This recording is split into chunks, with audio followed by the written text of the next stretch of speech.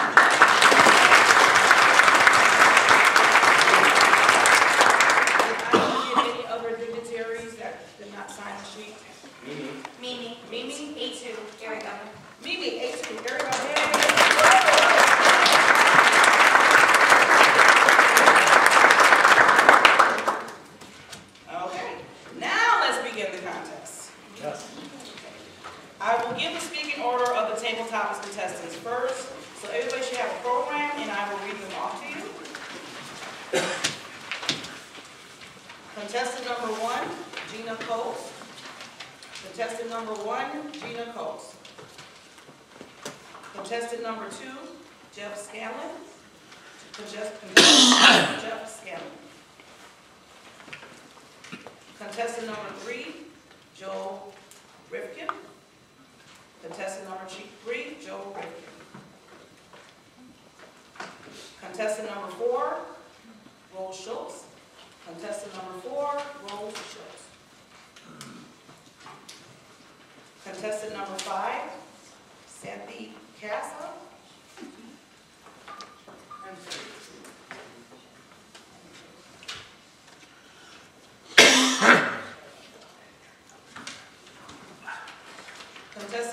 five, Shakti Casa. It's the longest name in the book. And contestant number six, Jerry Evans. Contestant number six, Jerry.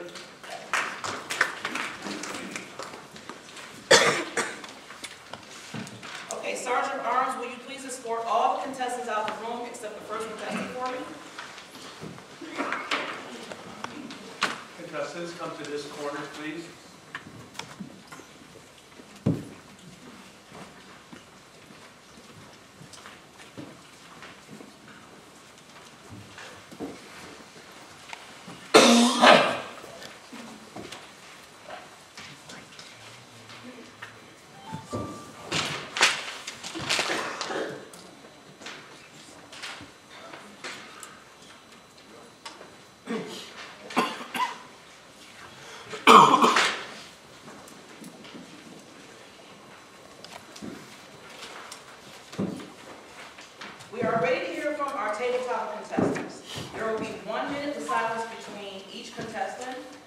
keepers when I advise you to do so, please signal me with the green light.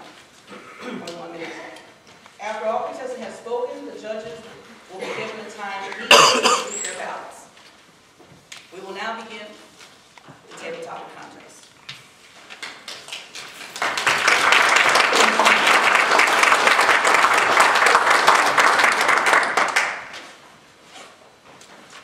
Contestant number one, Gina Coles.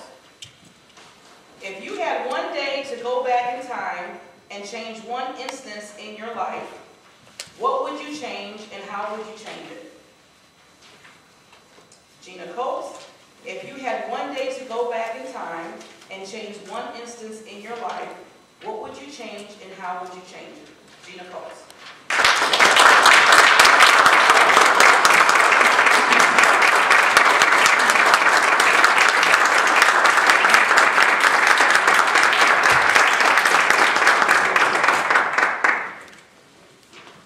One thing that I would change, I'm still trying to forgive myself about it today.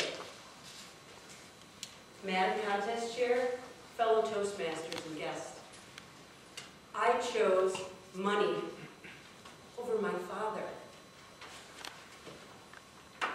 It was July of 2000, and our bank account was actually overdrawn. This was in the day when you couldn't get on your device and shuffle some money around. I was getting notice after notice, and my husband and I thought, what is going on? We literally had to drive to a bank to try and get our money deposited to fix this overdraft situation. It was also the same day that my dad was in a nursing home, and they weren't sure if he was going to make it. He was struggling with pneumonia, and I promised him I would visit him that day, a Wednesday. We went to the bank instead, because it was about to close. I didn't visit him that Wednesday, and I found out from my mom, he asked about me. And he said, where is Gina? She was supposed to visit today. That following Saturday, he passed away. I did get over it, and I did forgive myself. Mainly because a nun at my church said, you should never should all over yourself. And that made me realize that I shouldn't beat myself up over it. But if I had one thing to change, Dad, I really wish I would change that. Madam Congress.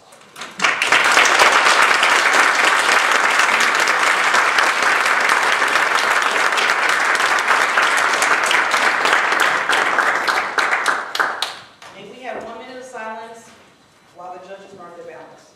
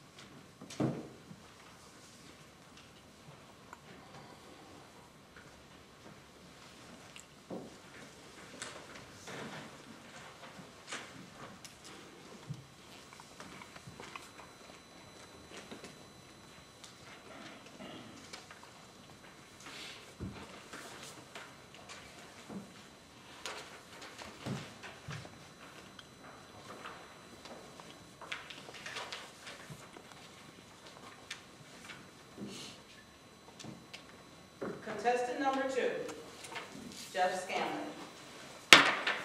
If you had one day to go back in time and change one instance in your life, what would you change and how would you change it?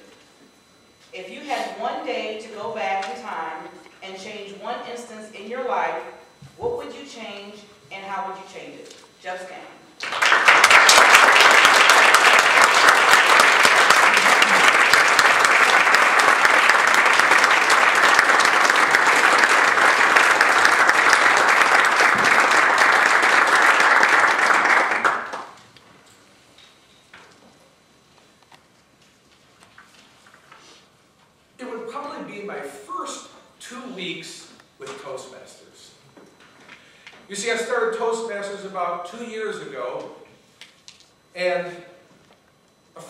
Who suggested joining Toastmasters, he says, Jeff, when you join Toastmasters, look for three things.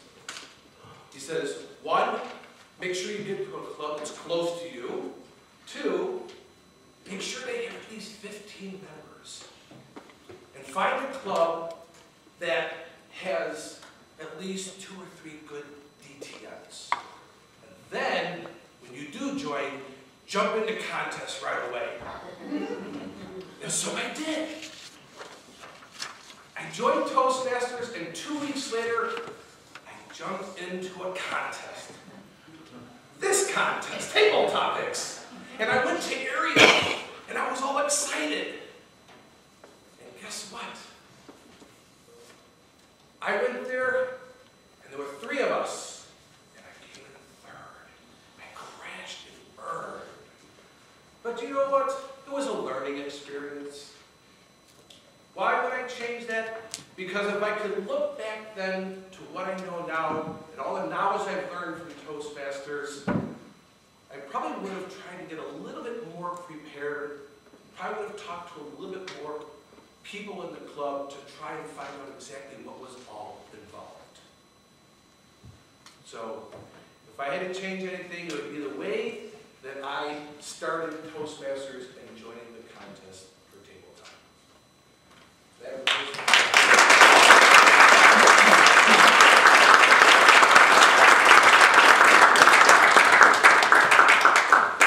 Okay, we have one minute of silence while the judges mark it out.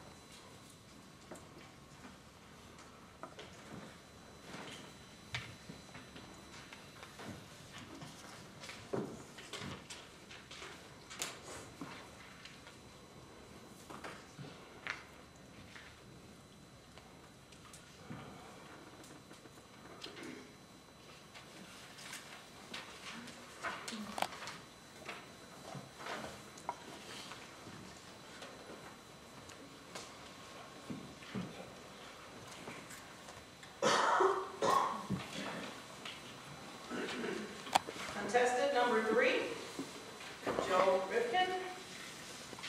If you had one day to go back in time and change one instance in your life, what would you change and how would you change it? If you have one day to go back in time and change one instance in your life, what would you change and how would you change it? Joe Rifkin.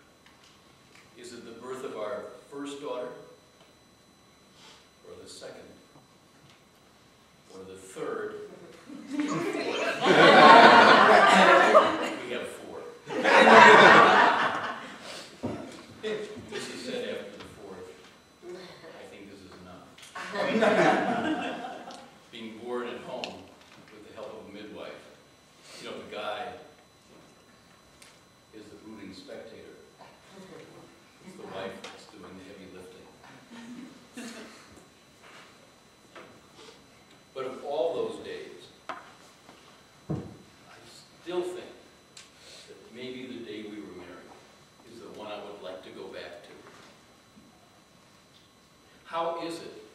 That I can be both nervous and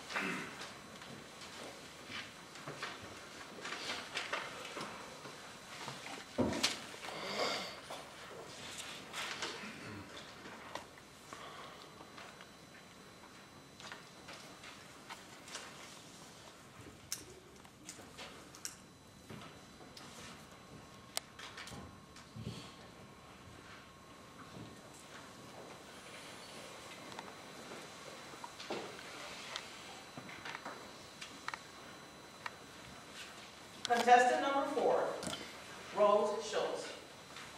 If you had one day to go back in time and change one instance in your life, what would you change and how would you change it? If you had one day to go back in time and change one instance in your life, what would you change and how would you change it? Rose Schultz.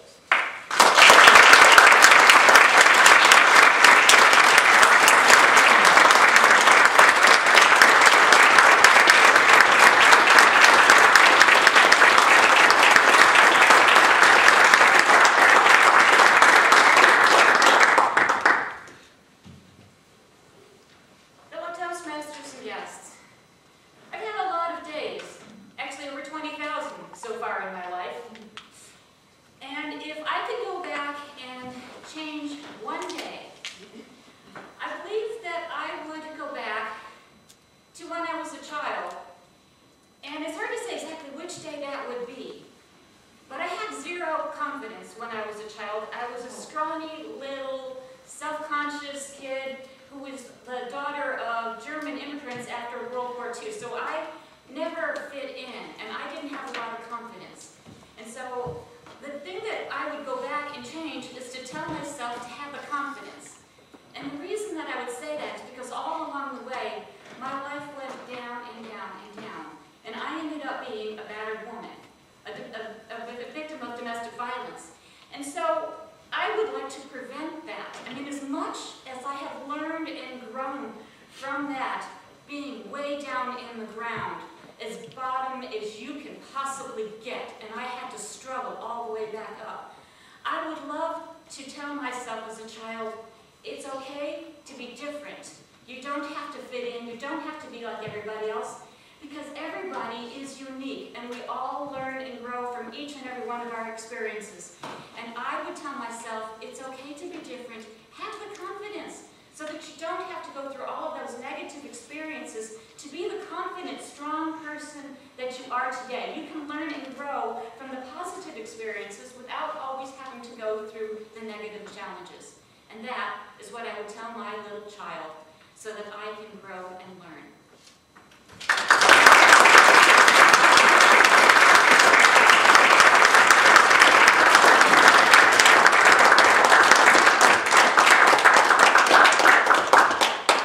May we have one minute of silence while the judges mark their ballots?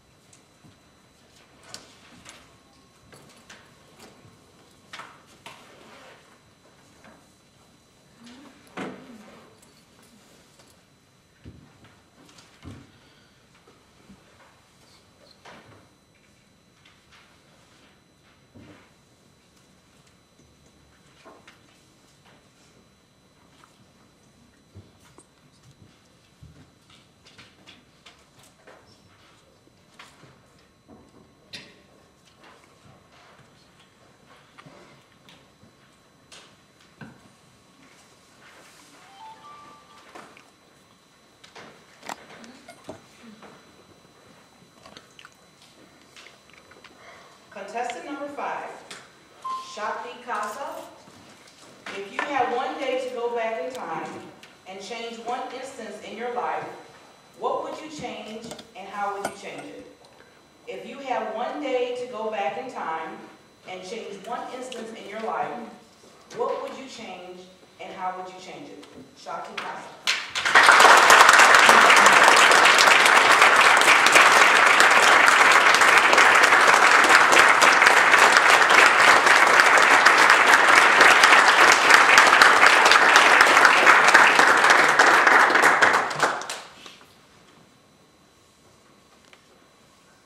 If I had an instance where I could go back in life and change one thing, I would probably change the day that I reacted when my daughter was born, my firstborn, and I had to go through all the medical problems with her that I didn't enjoy holding her, I didn't enjoy the first touch. So that is the instance that I would like to go back and change because I know that firsts are always special. So I would never want to spoil that and let go of enjoying that first touch, that first hold. Because my daughter was born with a very severe condition of this physiological jaundice. Typically newborns have that.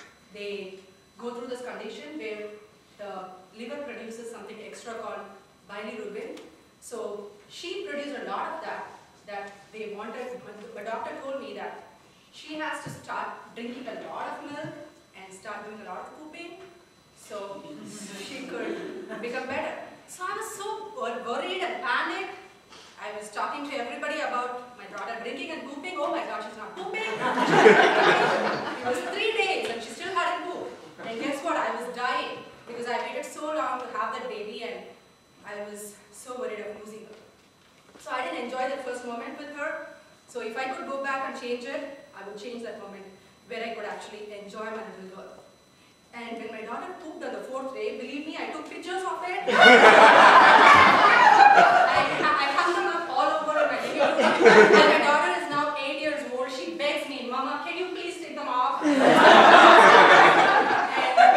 when the play dates come over, she really begs me, oh my God, I really like this guy. I don't want him to ever look up at me. room, so I tell her, it's going to be okay, it's going to be fine. So I've learned a lot from that experience. My daughter is a very healthy a happy girl today. So I've learned to let go and enjoy. I know that oops will happen and things will be fine.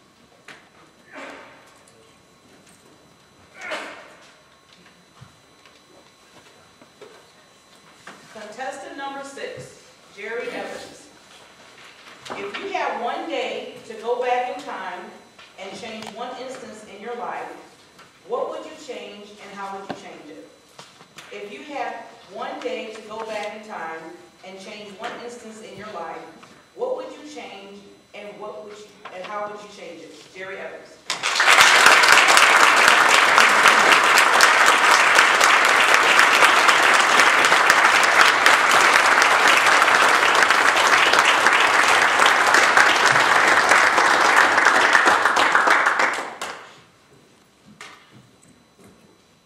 I opened up the mail and looked at the letter. It said, Jerry, Uncle Sam wants you. I had dropped out of college for a semester. So those of us who remember back then, when they had the thing called the lottery, well, when I dropped out, my number went to the top of it. So if I could change one thing, go back in time and change that, I would change that time which was 1969. Madam Contest Toastmaster, fellow Toastmasters, and guests. I don't think I was so smart about dropping out for that semester. I thought I could kind of avoid the draft, and I wasn't going to go to Canada. And there weren't too many other options. Now, you have to keep in mind, at that time, I had hair down to about here. And I definitely would have been considered a hippie or a mod at the time. And I wasn't exactly Uncle Sam material, at least I didn't think so. Because imagine going from being a civilian, and they said, now you're going to become a military policeman in the United States Army. Me? A military policeman? You have got to be kidding me. There's no way I would have ever imagined I would become a military policeman in Uncle Sam's Army. So if I could change one thing, going back in time, I would change that day, and I would be a little bit smarter because I would stay in college, and hopefully I wouldn't get drafted. Madam Contest Toastmaster.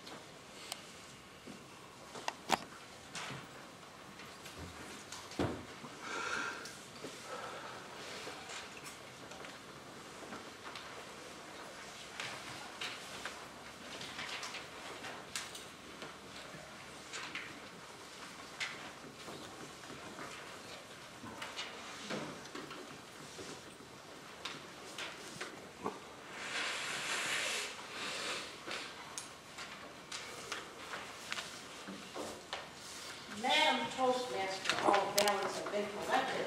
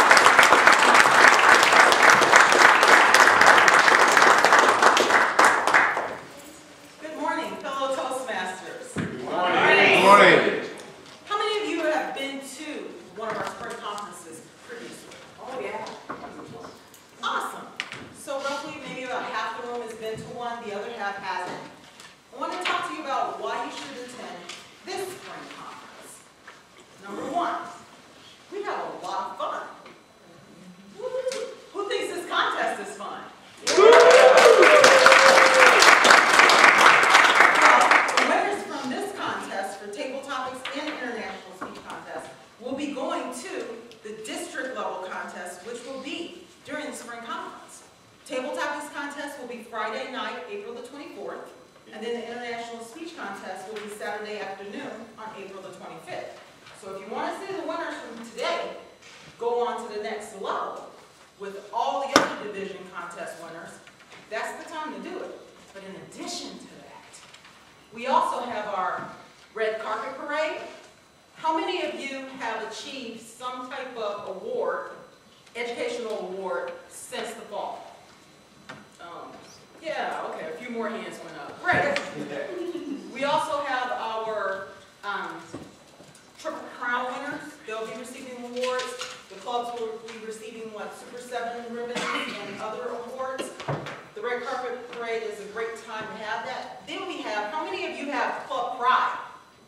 You're proud of your club, right? Yeah. You have a banner parade Where you get to bring your club banner, not the division banner, but your club banner, and you get to show your club pride, have a lot of other members come up with you, and celebrate the fact that your club is there. And all the members. But in addition to that, how many of you know that this is District 30's 65th year in existence? It's awesome, it's amazing. We started back in the 50s, so we got a little theme going on. We like themes. Our theme this year is going to be that all of us get to dress like we're in the 50s.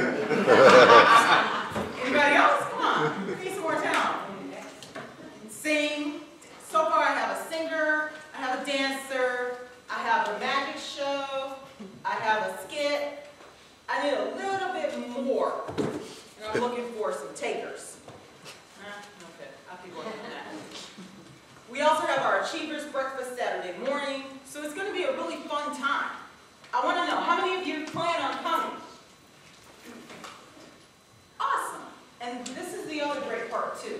If your club pays, right now, we lost our early bird special. Right now, it's roughly about 145, if I'm not mistaken.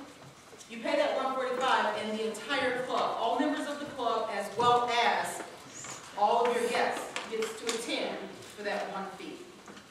Otherwise, you'll be paying $40 for yourself, one person. And of course, meals are not included in that. So, any questions? Right, That's my disclaimer. Anybody have any questions, concerns, challenges? Anybody want to participate?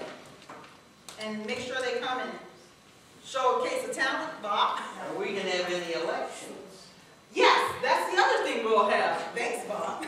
We also have our district council meeting, and we will have our elections. So that's a great reason to come too. If all the fun things aren't, that's gonna be fun in a different kind of way. So there is an entire agenda of events that is on the District 30 Toastmasters.org website, and you can go out there and take a look at it in, in advance. Please sign up to attend. Barry? Going to be any educational seminars? There are educational seminars, there are several of them. There are some on Friday, and then there are a few on Saturday. And I should mention this also, we do have two keynotes. One keynote is going to be Cheryl Roush. She's an author, a speaker's coach, and she's going to be giving a session on Saturday. In addition to her, we also have our international director, Alan Shaner. He's going to be coming to town, and he's also going to give a session. So great questions, And? guys. Who else is speaking? Most important, Yeah. Who else is speaking? Singing? baseball. Oh, yes. Baseball. Wayne Messmer. Yeah. He will be singing the Star Spangled Banner. We will also have a color guard. And it's just a, a whole entire list of things that we're going to be doing. So I'm, those are some of our most important ones.